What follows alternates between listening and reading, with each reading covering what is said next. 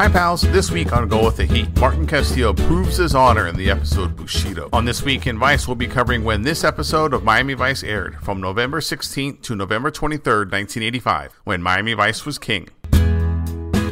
In news, on November 19th, President Reagan and Russian General Secretary Mikhail Gorbachev would meet for the first time at the Geneva Summit in Geneva, Switzerland. This was the first time the two leaders had met face to face. Above all else, the meeting emphasized peace and furthering cooperation between the two superpowers. On November 20th, after many delays, Microsoft releases Windows 1.0, essentially a graphical interface for MS DOS. The operating system was panned by critics for relying too heavily on the mouse, requiring MS DOS 2.0 and at least 256 kilobytes of RAM, Microsoft would finally end support in 2001.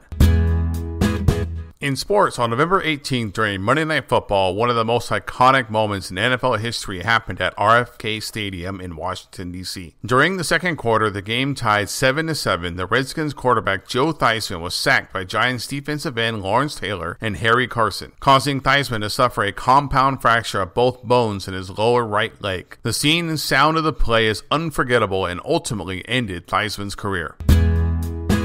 In music, We Built This City from Starship still holds the number one spot on the Hot 100. Instead of continuing to talk about this terrible song, I will instead point out a Miami Vice favorite, Glenn Frey's classic You Belong to the City, which was written specifically for the Miami Vice episode The Prodigal Son, peaks at number two on the Hot 100. As the clearly superior song about a city, you can hear more about this song on episode 27 of Go With the Heat.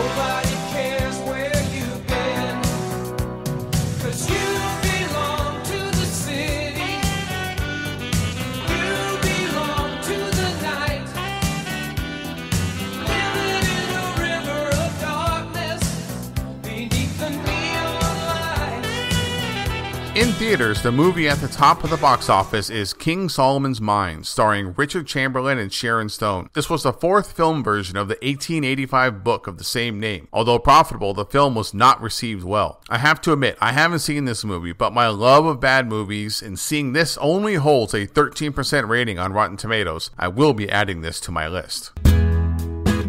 And that's everything you need to know that was happening when Miami Vice was king. Be sure to join us on Go With The Heat at gowiththeheat.com. I'd love to hear from you. Email the show, gowiththeheat at gmail.com, or follow me on Twitter at Dom Corriveau. That's all for this week. Bye, pals.